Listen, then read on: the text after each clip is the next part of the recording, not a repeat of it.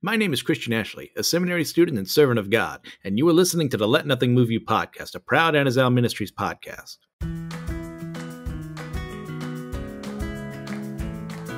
Welcome back, everyone, to the next episode of the Let Nothing Move You podcast. I'm your host, Christian Ashley, as we continue on through the book of Exodus, about to be in the book Levitic- of Leviticus. I'm looking forward to it. As mentioned before, we have some returning guests on the show. It's going to be a really fun time.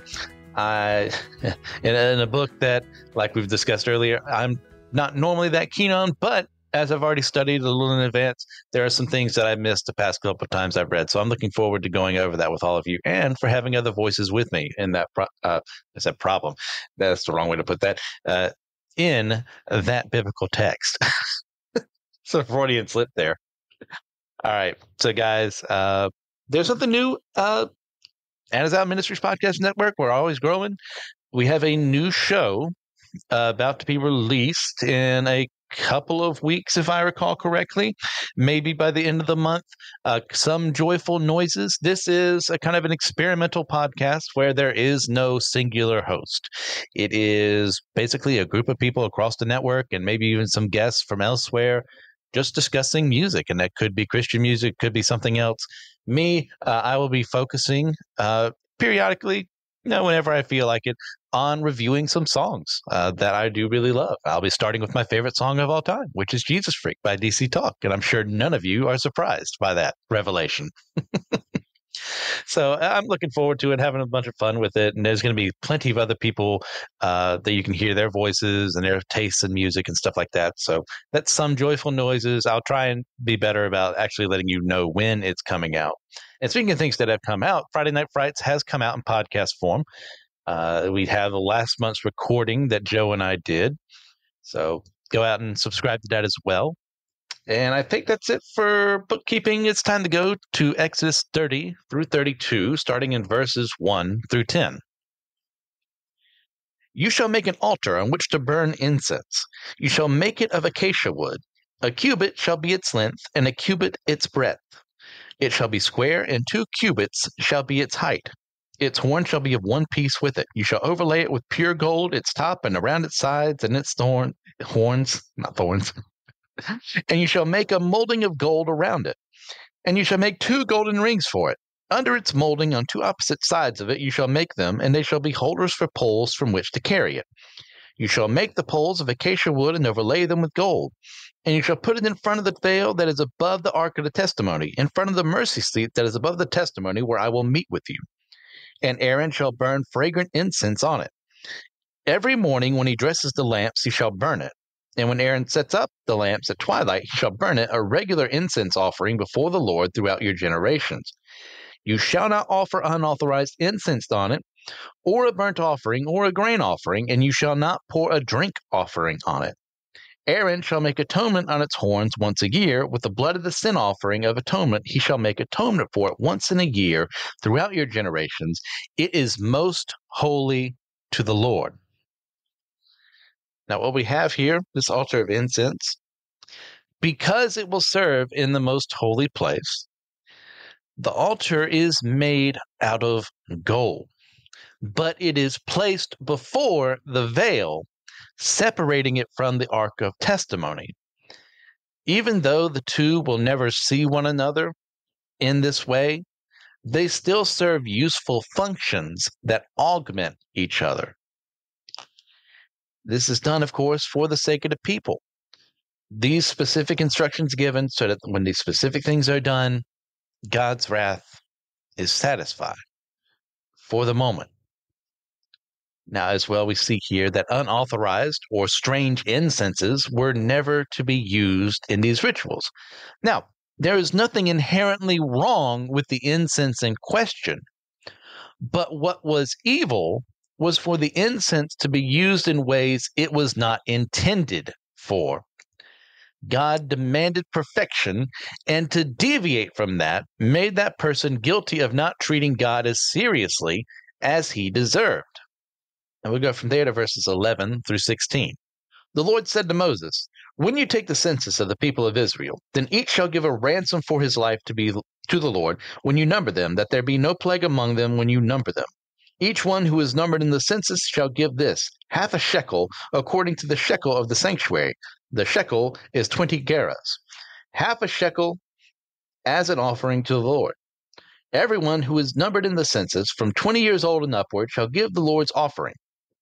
The rich shall not give more, and the poor shall not give less than the half shekel, when you give the Lord's offering to make atonement for your lives.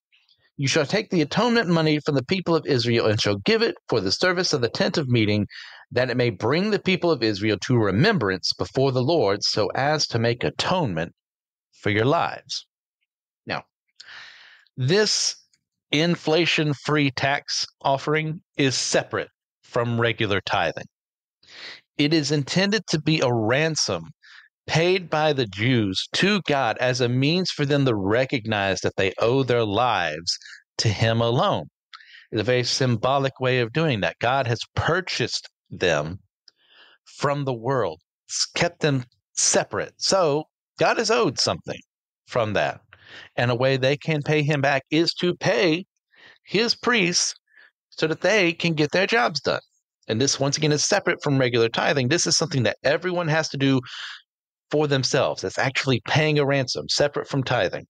Now, the command for this to be done as a ransom also makes this about Israel's dependence upon God when they increase in numbers when the land is theirs, rather than their own strength. Now, later on, we will see King David fall into the trap of trusting in numbers rather than God in 2 Samuel 24 and its parallel account in 1 Chronicles 21. Once again, the censuses themselves were not evil. You need to know how many people are in the land. You need to know who's paying their taxes. You need to know who needs to make restitution for their sins by using the sacrificial system. Those are things you need to know. But relying on those censuses to say, okay, we've got this many able fighting men, instead of trusting in the God who can preserve them, which would be David's sin later on, will cause the plague that God mentions here. And from there, we shall go to verses 17 through 38. The Lord said to Moses, You shall also make a basin of bronze, which with its stand of bronze for washing. You shall put it between the tent of meeting and the altar, and you shall put water in it, with which Aaron and his sons shall wash their hands and their feet. When they go into the tent of meeting, or when they come near the altar to minister to a burnt of food offering to the Lord, they shall wash with water, so that they may not die. They shall wash with their hands and their feet, so that they may not die. It shall be a statute forever to them, even to him and to his offspring throughout their generations. The Lord said to Moses, Take the finest spices of liquid myrrh, 500 shekels, and of sweet selling cinnamon, half as much. That is 250 and 250 of aromatic cane and 500 of cassia, according to the shekel of the sanctuary, and a hin of olive oil. And you shall excuse me, and you shall make of these a sacred oil, anointing oil, blended as by the perfumer. It shall be a holy anointing oil. With it you shall anoint the tent of meeting and the ark of testimony, and the table and all its utensils, and the lampstand and its utensils, and the altar of incense, and the altar of burnt offering with all its utensils, and the basin and its stand. You shall consecrate them that they may be most holy. Whatever touches them will become holy. You shall anoint Aaron and his sons, and consecrate them that they may serve me as priests. And you shall say to the people of Israel, This shall be my holy anointing oil throughout your generations. It shall not be poured on the body of an ordinary person, and you shall make no other like it in composition. It is holy, and it shall be holy to you. Whoever compounds any like it, or whoever puts any of it an outsider, shall be cut off from his people. The Lord said to Moses, Take sweet spices, stacte and onycha and galbanum, sweet spices with pure frankincense, of each shall there be an equal part, and make an incense blended as by the perfumer, seasoned with salt, pure and holy. You shall beat it, some of it very small, and put part of it before the testimony in the tent of meeting, where I shall meet with you. It shall be most holy for you. And the incense that you shall make according to its composition, you shall not make for yourselves, it shall be for you holy to the Lord. Whoever makes any like it to use as perfume shall be cut off from his people. As has been mentioned several times before, as will continually be mentioned throughout the Pentateuch.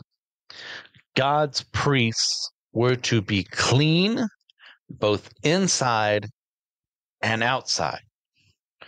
By washing in the basin, they were ceremonially confirming they were wholly clean. They were excuse me, clean. They were able to do the job and a task that God had gave them to do because their hearts were set on Him. This wasn't offered to everyone else, not because they didn't need to be clean, but because the ones leading them needed to be set apart. Now, this applies to us as well, both physically and spiritually. We have been wiped clean by Jesus, thanks to his sacrifice, assuming that we have accepted the offer to repent of our sins and to then turn to him. We can only be in the presence of a holy, just, and perfect God if we ourselves are completely clean, which is something we can never do on our own. And this sacrificial system couldn't even offer that either. But it could offer the template for Jesus' sacrifice. It could offer the beginnings of understanding for what needed to happen for our sins to be washed away permanently by the blood of the Lamb. And without this setup, it doesn't make as much sense. Yeah, God still could have done what he did through Jesus' sacrifice. But we lose a lot of understanding without this system in place. And we go from there to chapter 31, verses 1 through 11. The Lord said to Moses, See, I have called by name Bezalel, the son of Uri, son of Hur, of the tribe of Judah. And I have filled him with the Spirit of God, with ability and intelligence, with knowledge and all craftsmanship, to devise artistic designs, to work in gold, silver, and bronze, and cutting stones for setting, and in carving wood, to a work in every craft. And behold, I have appointed with him Oholiab, the son of excuse me, Ahisamach, of the tribe of Dan, and I have given all able men ability that they may make all that I have commanded you. The testimony of meeting, and the ark of the testimony, and the mercy seat that is on it, and all the furnishings of the tent, the table and its utensils, and a pure lampstand with all its utensils, and the altar of incense, and the altar of burnt offering with all its utensils, and the basin and its stand, and the finely worked garments, the holy garments for Aaron the priest, and the garments of his sons for their service as priests, and the anointing oil and the fragrant incense for the holy place according to all that I have commanded you, they shall do. Now we see here two men brought up, have not appeared before this in the narrative outside of being part of the collective group of Israel. There's nothing particularly special about them, except for the skill and the skills that God has blessedly gifted them with, as well as the heart for service that they must have for the sake of the people. Because of their devotion, the people of Israel were blessed for centuries by the presence of the things they built at this point in time in history, whether it's the 1400s or 1200s, whenever, doesn't matter. They did the job, and the Israelites were blessed because they remained behind as a testament of them working alongside God for the purpose of bringing the people into worship with God. So, too, are people blessed for countless centuries by the righteous skills and action that we have? We don't know when the end of the world is coming. If you believe certain people, we don't have much longer. It could be thousands of years. It could be hundreds of years. It could be tomorrow to set up the seven year of the end of the world. I don't know. But what I do know is, as an example of men like this, we need to recognize what gifts we have and what we do to help build the church far beyond where people have forgotten our names. How many times have you heard someone in the church mention either one of these men? I'm guessing very few, if at all. But their names are recorded here to let us know who's responsible for actually bringing into life what God has commanded Moses to bring to the people. And look, there are plenty of people out there whose names we will never know who spent their time ministering to the poor, to the widow, to the orphan, to those in prison. We don't know their names. But the people who were with them no. And were encouraged by them, may have come to faith because of their actions. And as a result, our entire world has changed, whether we recognize it or not, because of the actions of people who were simply being faithful to Christ, being faithful to his words. That we now live in an unbroken chain of Christians who were faithfully living out their mission to love God and to love their neighbor as their self. Have you ever recognized that? I know I've gone over this before. I can't remember when, but you and I are part of that unbroken chain from Jesus' ministry to the 12 apostles and beyond. We are the result of that. You didn't just show up out of a vacuum. Something had to be done by someone on this earth imbued with the Spirit of God to bring you to faith, to bring you to Him. And we have that same ability, that same responsibility to go and do it for others. That is that is an immense task. But take heart because you're not going to be the one who screws it up for everyone. You're not. God is still going to work with you, he's still going to work with me, and he's going to bring us both to where we need to be to continue his kingdom in whatever ways he has. Chances are some of you may never bring someone to faith, and that's okay. That's not what God is saying. What he is saying is for you to be faithful. And that faithfulness will encourage someone else who is talking to someone that they can lead to faith, or who is ministering to people in prison, or what have you. Just be faithful like these men were faithful. And this world is going to be a whole lot better than what it could be. And you will never know the impact that you have until it's our time. And then when God chooses to reveal so, he will show us because of your actions, this happened. Because of your actions, this person came to faith and they never once heard your name. But maybe you gave enough money to a cause and it helped a missionary, or maybe it helped with disaster relief, or what have you. We don't know because we are limited, finite, mortal beings but our impact is far beyond what we could ever think. Our impact is eternal. This men, these men's impacts were eternal.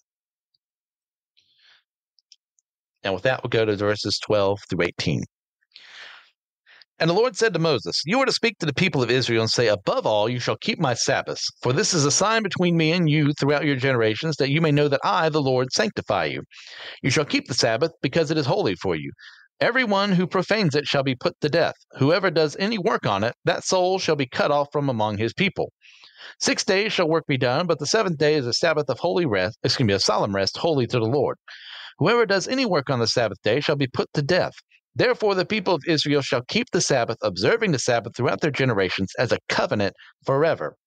It is a sign forever between me and the people of Israel that in six days the Lord made heaven and earth, and on the seventh day he rested and was refreshed. And he gave to Moses, when he had finished speaking with him on Mount Sinai, the two tablets of the testimony, tablets of gold. It's going to be, gosh, I am on a roll today with how bad my, my words are. Tablets of stone written with the finger of God. Keeping the Sabbath should have been a sign that the people were committed to God because it took effort to follow through with the command. Denying its importance by working on it or simply going through the motions was sinful and evil because the Sabbath was there to remind the people of God's love for them as He allowed them to rest and be spiritually cared for. But it was also never meant to replace loving others. It was never meant to focus on yourselves fully. It, was meant for self reflection. It was meant to be, make yourself right with God.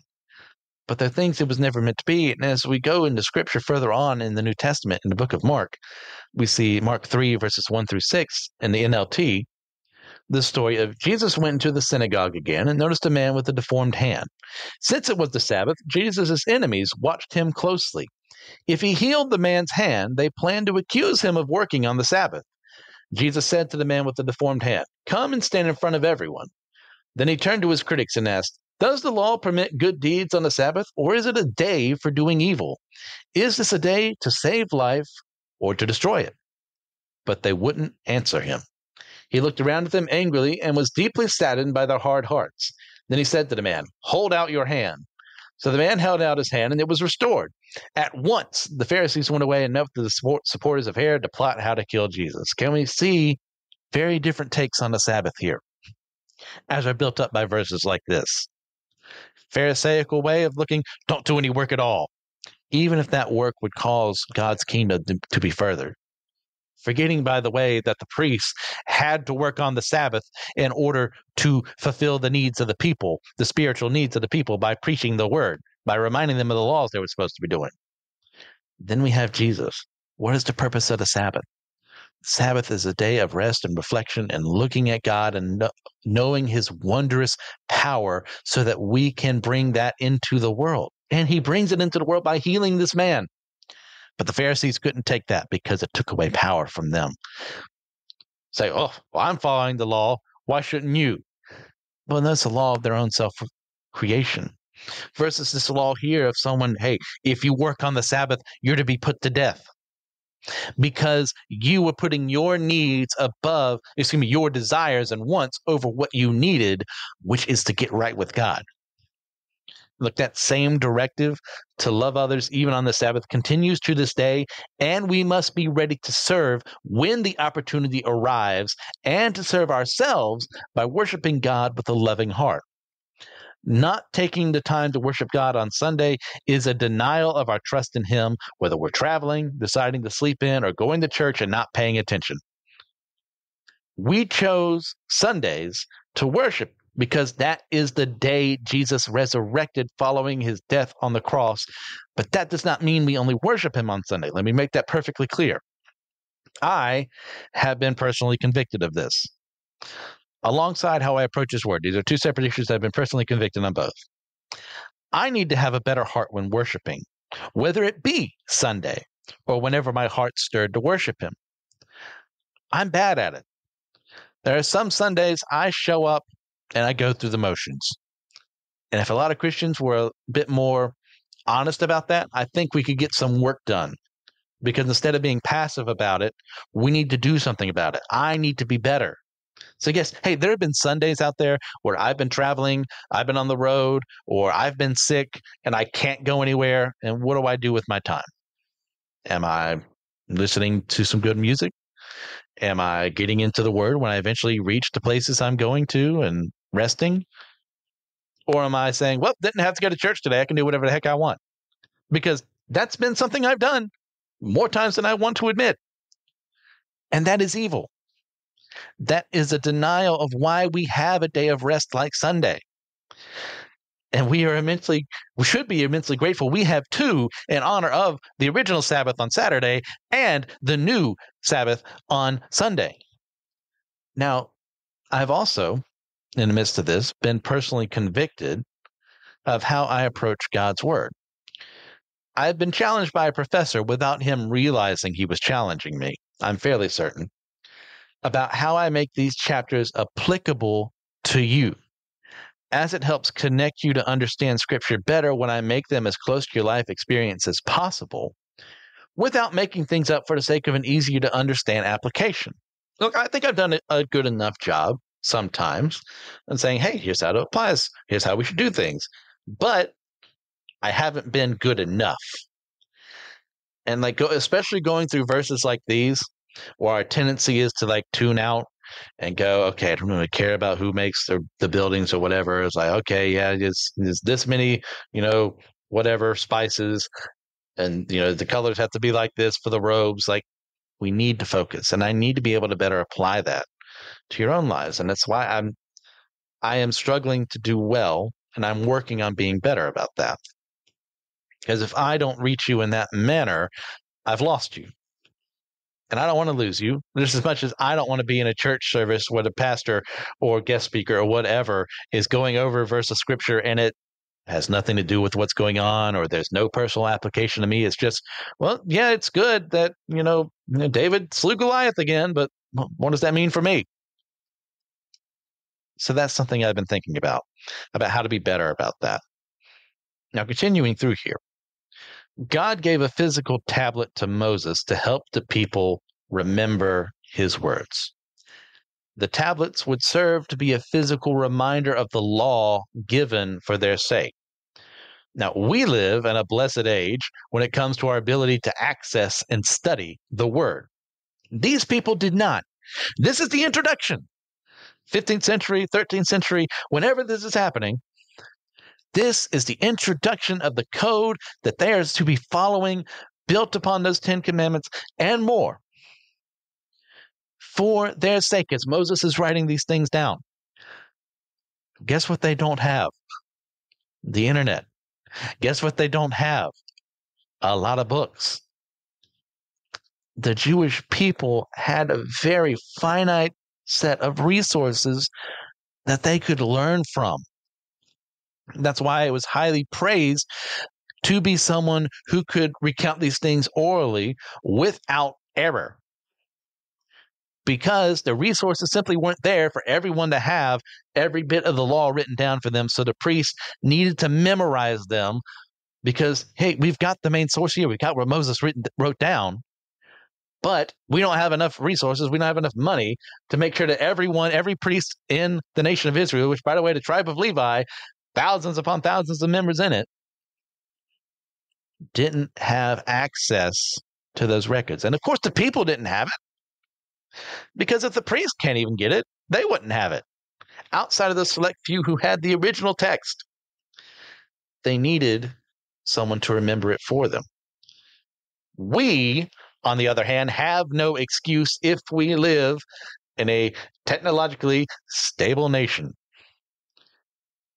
Now, chances are, if you're listening to this, that applies to you. There may be circumstances out there where it's possible if you'd have access to this but not have readily access to everything else.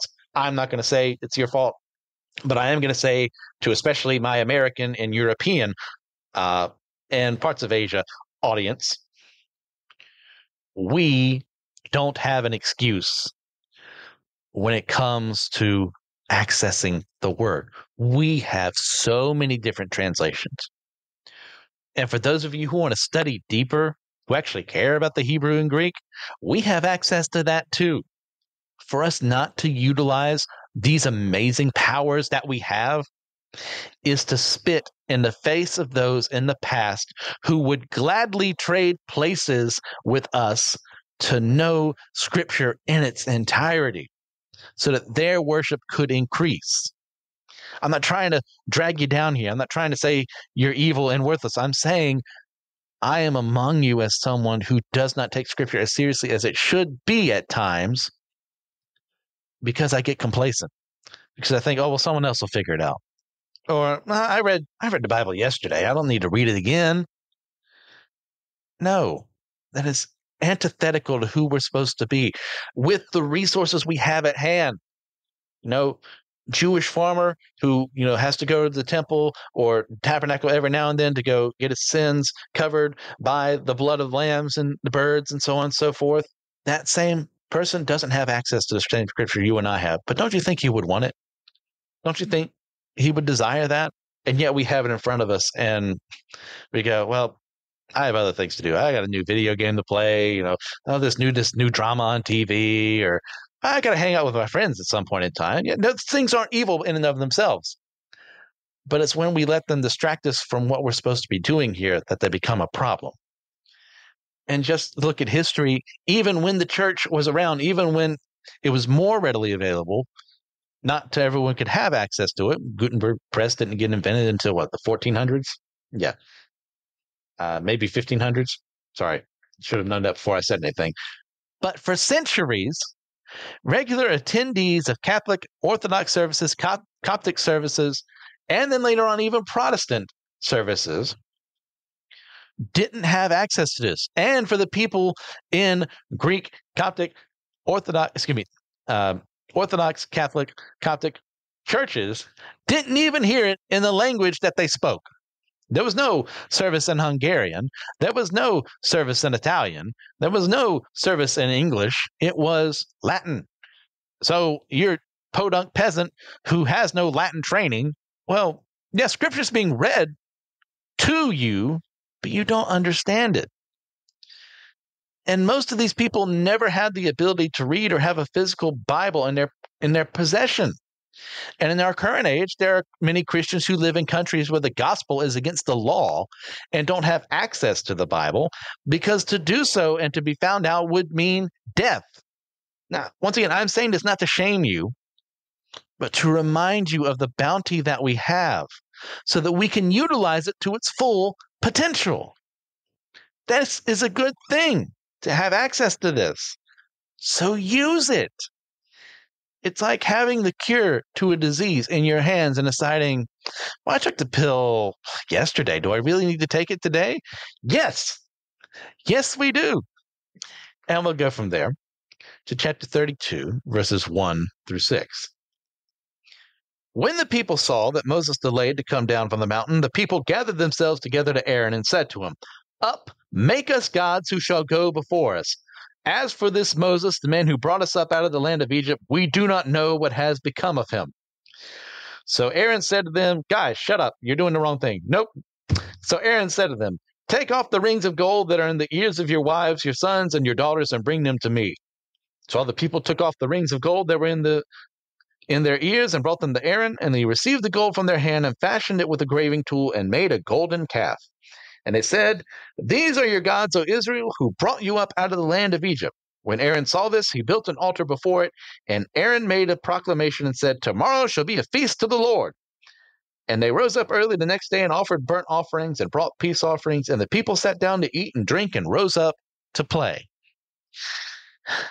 For hundreds of years, the Israelites had lived in a culture that worshiped multiple gods, and it shows by their actions. God alone had delivered them from Egypt and their gods, but in the absence of Moses, they faltered. Not eight chapters ago, they had said in Exodus 24 3 in the NIV, when Moses went and told the people all the Lord's words and laws, they responded with one voice Everything the Lord has said, we will do. What was one of the things that had been brought down before this moment? Oh, by the Ten Commandments. You shall have no other gods before me. You shall not make idols. Everything the Lord has said, we will do, said the people of Israel, said the people of the church right now. Now look at them breaking both the first and second commandment. What happened?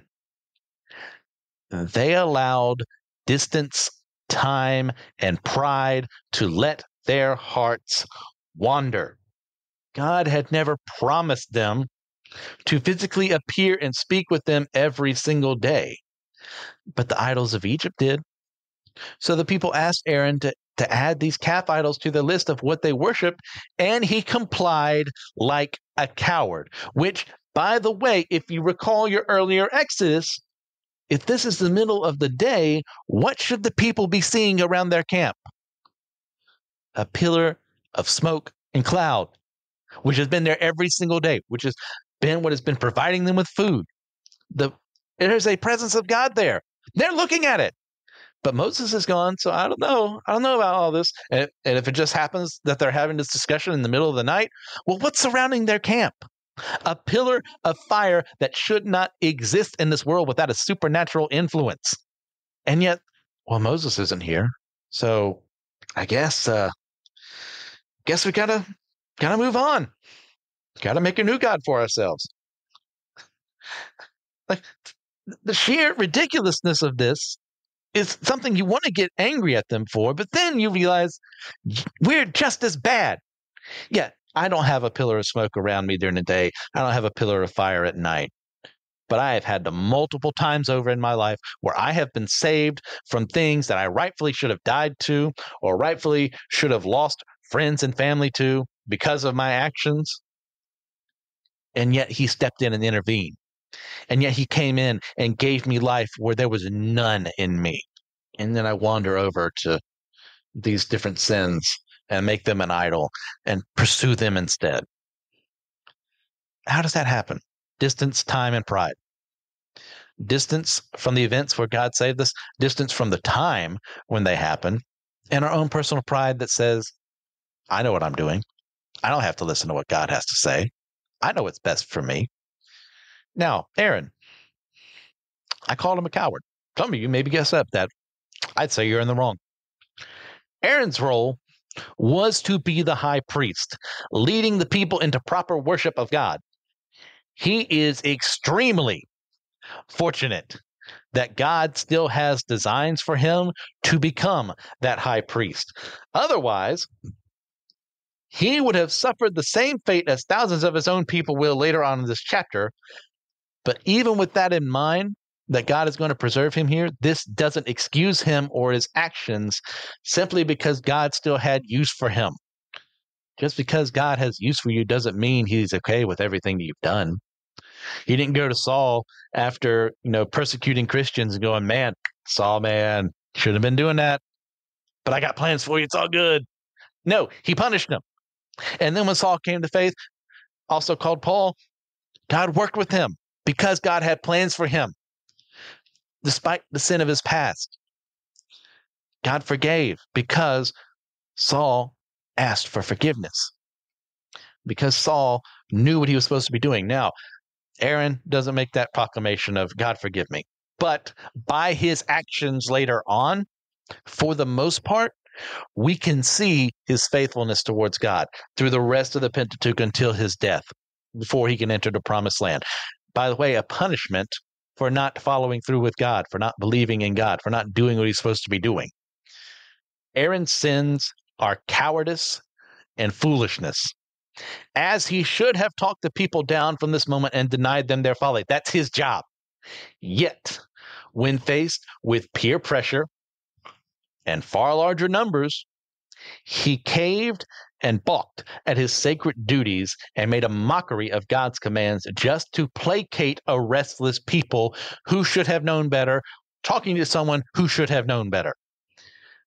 This same Aaron had been the one who had worked alongside his brother Moses to bring the plagues and judgments upon Egypt, and now he was acting as if it had never happened. So too were the people doing that. But you would think that someone who was personally involved would have had more of a backbone about this. And yet he doesn't. Now, leaders, good leaders, no matter how small they are in their leadership roles, whether it's the pastor of a church, leader of a diocese, from the Pope, all the way down to you know, a preschool leader, or wherever you lead. Because guess what? Everyone leads something. They never back down from the truth simply to save their own skins and placate the masses if they're doing their job. Good leaders fight even when every other voice says something different. Whether that be in the church, culture, or global affairs, there's a reason this podcast is named Let Nothing Move You. You know why? Because there are things out there that are heresy. There are things out there that are sinful. There are things out there that do not belong in the church, and we cannot move from truth to allow them in. It is evil to do so. It is sinful to do so. It is harmful to do so. And we are better off standing firm, even if it means we lose jobs, even if it means that we lose friends, or what have you, because we stood by truth, and God is going to remember that in the end. Yeah, there are plenty of people out there who stood by truth and were slandered for it, were hurt for it, exiled for it. And yet, in light of eternity, who do you think is going to get praised? The person who persecuted the one who stood by truth, or the person who remained steadfast to God. We think too often in our temporal existences and our mortal existences of what's happening right now. But it's far better to think in a more eternal perspective. Yeah, I don't like suffering. I don't want to be the person who does.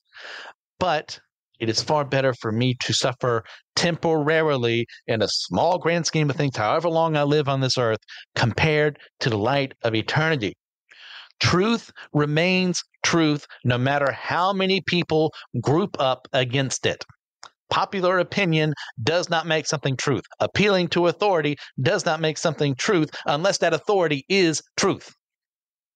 The Bible is truth. You can look at that as authority. You can also listen to the episode that Joshua did for, um, goodness gracious, why am I thinking of? For Dummy for Theology, had to think of there a second, uh, on his logical uh, fallacies that he's doing for the channel right there, and I disagree with some of what he says. But for the most part, I think he makes some pretty good uh, applications of not falling for that fallacy. So keep that in mind as we're going through this. Pastors and other leaders of the church must deny themselves if they ever wish to worship and serve God. For this part of the test, Aaron failed utterly.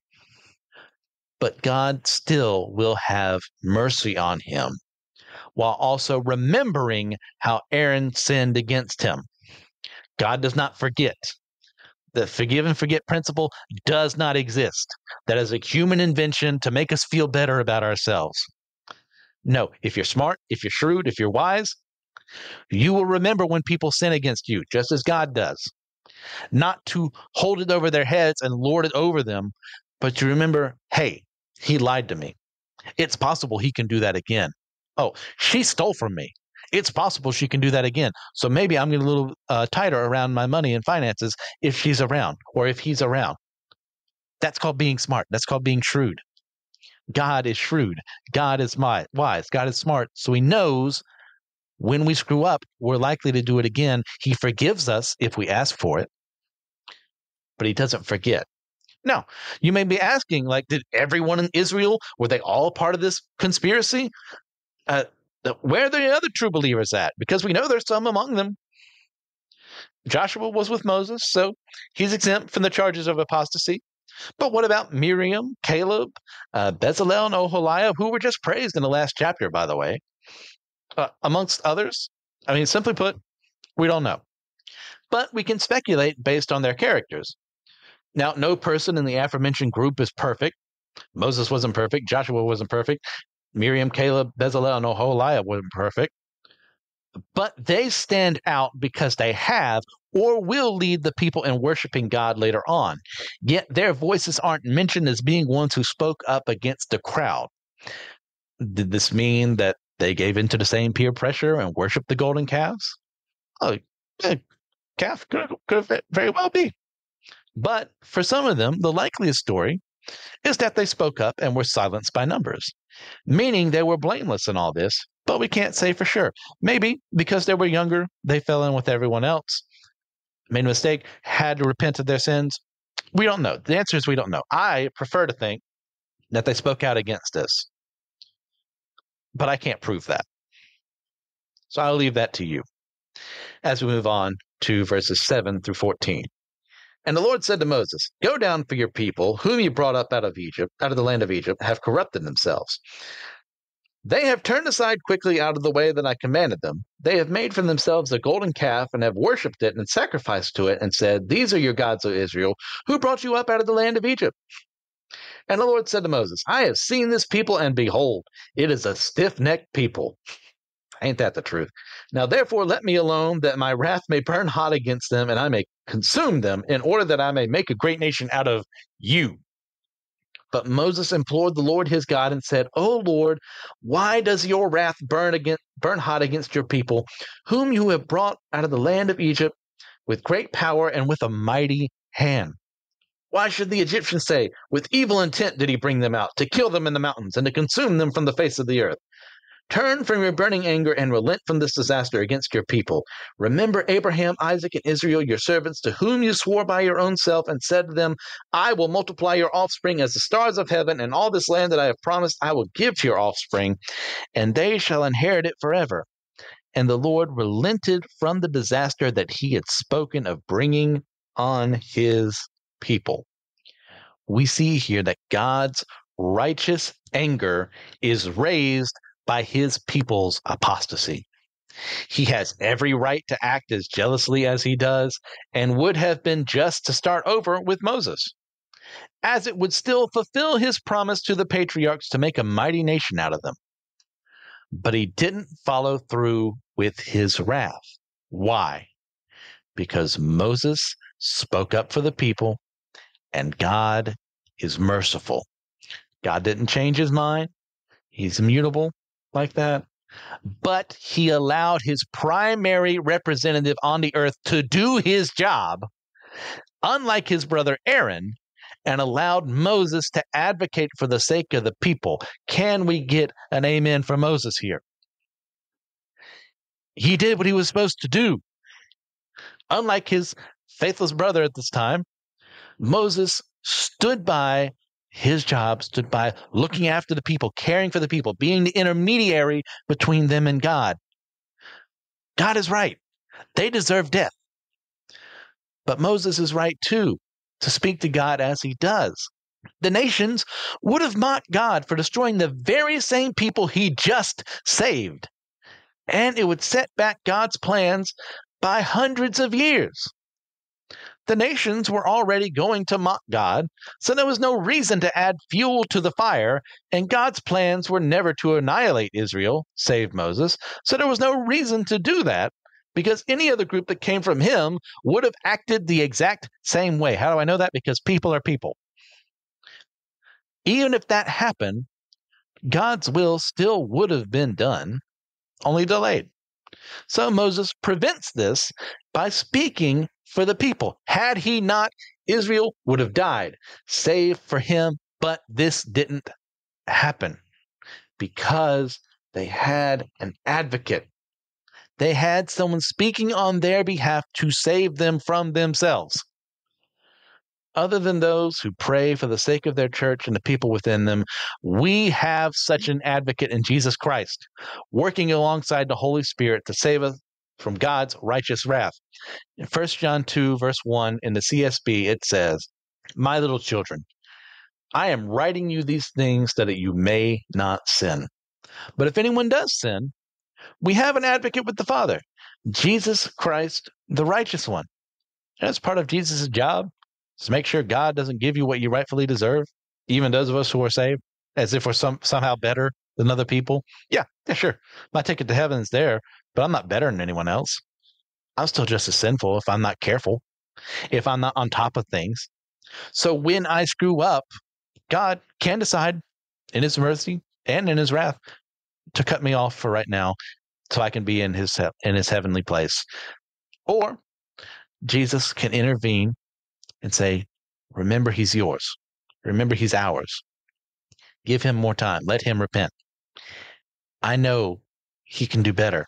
I know these people can do better. They're going to screw up. They're going to sin. But if we give them time, they'll repent and they'll come to you. I don't know about you, but that brings me immense comfort to know that despite my many, many acts of rebellion, sometimes even in the same day, Jesus is speaking up there as my advocate to say, Lord, not yet spare him. And even if he says that and God allows me to be harmed, if God allows me to die, he's just because I deserve far worse. And yet he's holding that away from me because of his son, because of his sacrifice. Now we see at that same time, for those of you who covered Romans with us, in Romans 8, 26 through 27 in the KJV, it is written, Likewise, the Spirit also helpeth our infirmities. For we know not what we should pray for as we ought, but the Spirit itself maketh intercession for us with groanings which cannot be uttered. And he that searcheth the hearts knoweth that what is in the mind of the Spirit, because he maketh intercession for the saints according to the will of God, because of them because of Jesus and the Holy Spirit, we have constant support even in the midst of our sins and transgressions. The Spirit is helping me say the words I need to pray to God, and I can't even understand God, help me for this. Help me because of this. Help me. I, have sinned against you. The, the Spirit is acting as an intercessor between us and God to make sure that we aren't unduly represented before Him. Lord, yes, He has sinned, but He also gave His life to you. Spare Him, spare her for now until their day has come. Both of those are beautiful things we do not deserve. We don't deserve Jesus, number one. We don't deserve the ability to be with the Father. We don't deserve the Holy Spirit working with us as He does His job. And yet, God has given all of those to us. We'll go from there to verses 15 through 24. Then Moses turned and went down from the t- mountain with the two tablets of the testimony in his hands, uh, in his, in his hand, tablets that were written on both sides, on the front and on the back they were written. The tablets were the work of God, and the writing was the writing of God engraved on the tablets. When Joshua heard the noise of the people as they shouted, he said to Moses, There's the noise of war in the camp. But he said, It is not the sound of shouting for victory, or the sound of the cry of defeat, but the sound of singing that I hear. And as soon as he came near the camp and saw the calf and the dancing, Moses' anger burned hot, and he threw the tablets out of his hands and broke them at the foot of the mountain. He took the calf that they had made and burned it with fire and ground it to powder and scattered it on the water and made the people of Israel drink it. Ah, yeah, you gotta love it. And Moses said to Aaron, What did this people do to you that you have brought such a great sin upon them? And Aaron said, Let not the anger of my Lord burn hot. You know the people that they are set on evil. For they said to me, Make us gods who shall go before us. As for this Moses, the man who brought us up out of the land of Egypt, we do not know what has become of him. So I said to them, Let any who have gold take it off. So they gave it to me, and I threw it into the fire, and out came this calf. you know, the Bible's really funny if you actually pay attention to what's happening.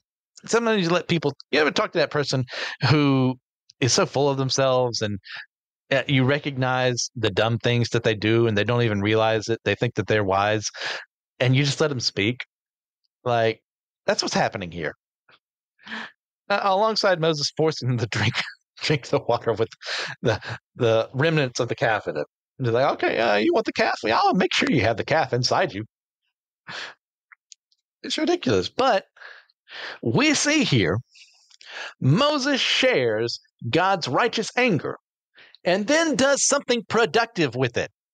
His anger doesn't turn to hate, but remains an act of love by proactively removing evil from the midst of the people. So too are we called to act when it comes to protecting the truth and love provided by God to us. We are called to fight against injustice and, in, and heresy in their many forms, regardless of the person who speaks and acts within them. There is no place for evil and false teachings to exist within the church. It must be purged so that the body can grow healthily.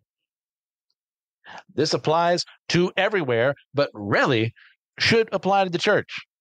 Really should apply to the church. Because if the church isn't a bastion of truth and love and good teaching, we're screwed. Because it's definitely not in the world. All you have to do is listen to any politician speak, is listen to any CEO speak who doesn't know Christ, and even those who do and allow themselves to be taken by the things of this world. There is no Jesus out there. So if there's no Jesus in the church, we are screwed. Now, so some of you won't like the language I'm using there. That's fine. You can argue with me all day long. My point remains. Without him, we suffer. Without him, we have no hope. So if we're not doing our job to make sure that this evil is purged from our midst, we deserve exactly what happens to us. Now, Aaron, on the other hand, continues on with this cowardice and instead blames the people for the decisions he made. Now, obviously, we decry Aaron's actions, but how do we avoid the same things in our own lives? By remaining sober minded and being held accountable by trusted people who are looking out for us as we look out for them. Anyone in any position within the church, from the pastor to the newest member, must never blame others for their own actions. It is never the fault of another when we sin. We choose it. Yeah, there's temptations other people can throw at our feet, but who made the action step to commit that sin? We did. We had the opportunity, we've had the training, and we know how to resist those temptations, yet we chose to do it anyways. Any sin, doesn't matter what it is lying, lust, greed, what have you. We know better. We need to deny ourselves and stand up for the truth, regardless of how people view us or what they say and do when we support truth. Aaron failed at this at this time but we can learn from it by resisting that failure. And we'll wrap up things today by going through verses 23 through 35. It's going to be 25 through 35. And when Moses saw that the people had broken loose, for Aaron had let them break loose to the derision of their enemies, then Moses stood in the gate of the camp and said, Who is on the Lord's side? Come to me.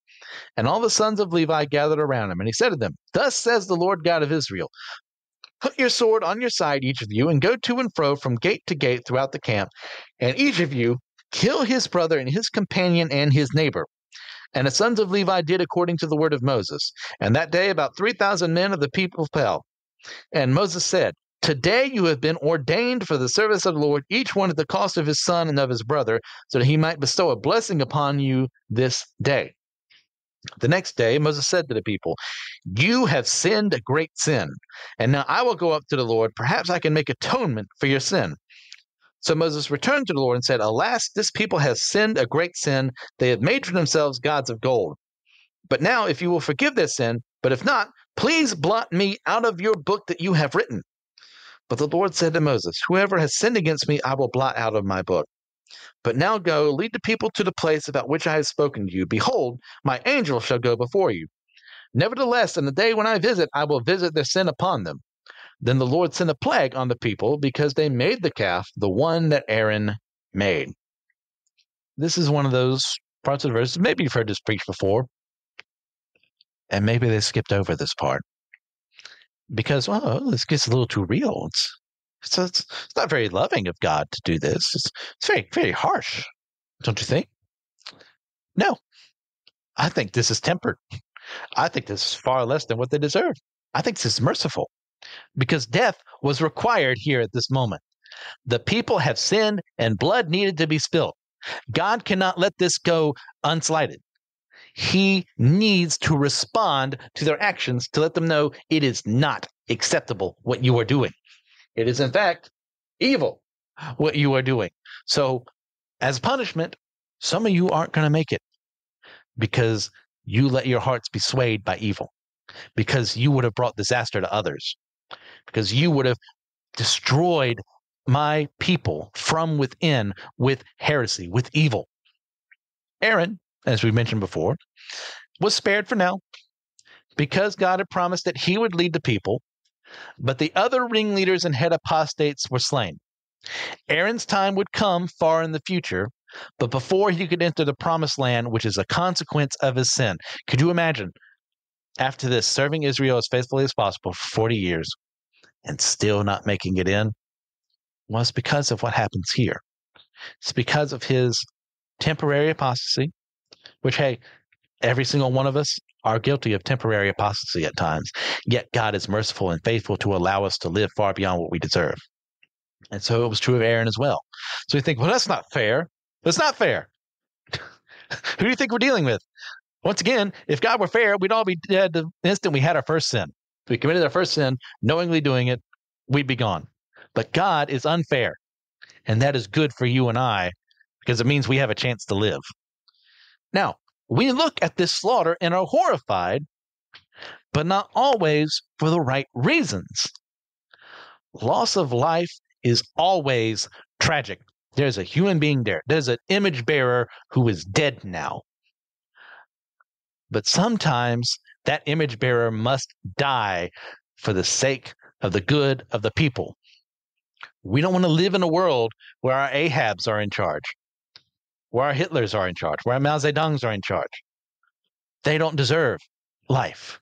Heresy and poor leadership has no place in the church. In the same way that no doctor worth his salt and is capable of removing cancer from a patient would tolerate its existence in them, so too are we to treat sin and heresy in our midst. If you have a good doctor who's actually, you know, some types of cancer is just unfortunately grown too far, there's nothing we can do, that's not the doctor's fault. It's a doctor's fault when he says, well, yeah, you got this little batch over here. It could grow and become, you know, stage whatever. So I'm going to leave it alone. That's a bad doctor a bad pastor, a bad leader in the church would do the exact same thing with sin in their midst, whether that be from themselves or with members of the church.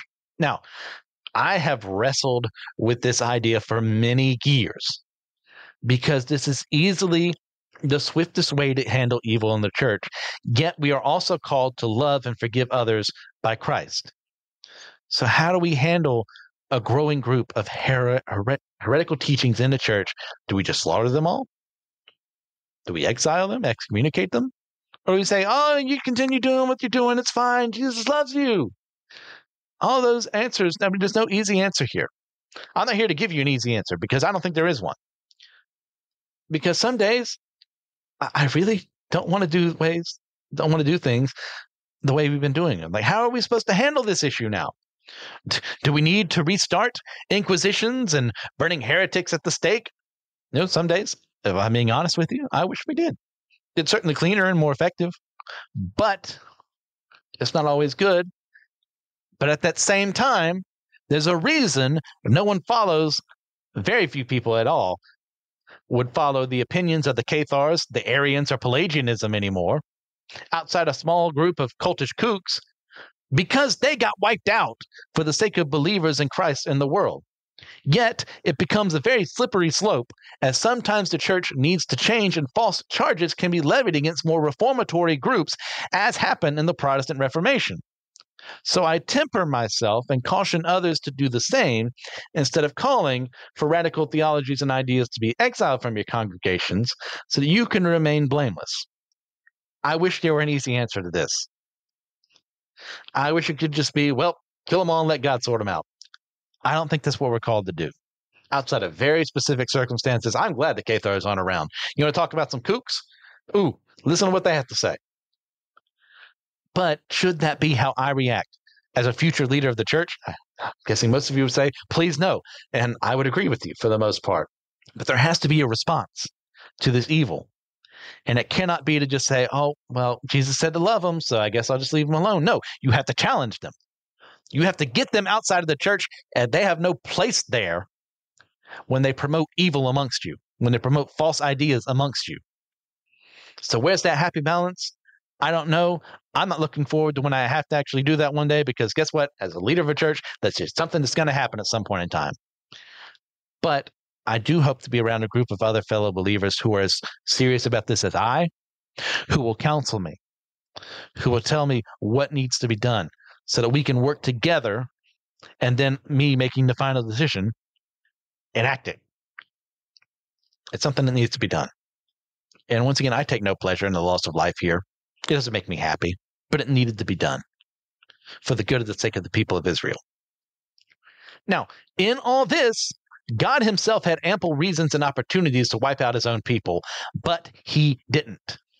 Instead, he allowed Moses to make sacrifices on their behalf, which they didn't deserve.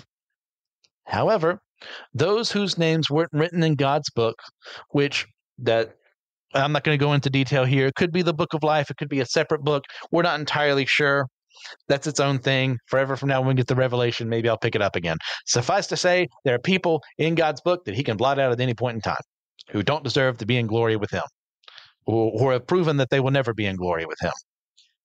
We don't know the fullness of what is being said here, but regardless, what truly matters here is Moses' heart for the people, as he wishes that he can die on their behalf if it means they aren't removed from the book. As, but he can't because he's not good enough. God denies this because Moses, while loving and well meaning, can never cover their sins as a sinful man himself. Even with this very noble sacrifice, Moses isn't good enough. But Jesus can. And he did for all those who choose to receive his gift of life. Let me leave you with that today. After all that horribleness, there is something positive here. Moses, a man, was never good enough. Me, even if I said that and I would believe, I would want that to happen. God, take me instead of them. I would suffer hell so that they would be safe from it. I don't have to because Jesus made that call for us. He was good enough. And we are covered by that blood if we repent and turn to Him guys, thank you much, very much for listening today. Had a very fun time with these chapters. Uh, please get a chance to leave a five star review in your podcasting platform of choice. Just to help us with ratings there. If you're interested in my own fiction writing, you can find my works at starvingwritersguild.com or on Amazon by searching for the name MC Ashley. If you're all interested in some further solid studies into the Bible and its teachings, then check out the other members of the Anazao Ministries podcasting network. You can contact me at letnothingmoveyoupodcast at gmail.com. Uh, as well. You can also find me on Systematic Ecology, Why I Don't Like, uh, Friday Night Frights, and some Joyful Noises later on. I'd like to extend a special thank you to Joshua Knoll for the editing that he does and for the music he adds to the podcast. And with all that in mind, God bless you on accordance to his will and not mine, and allow me one more time to remind you let nothing move you.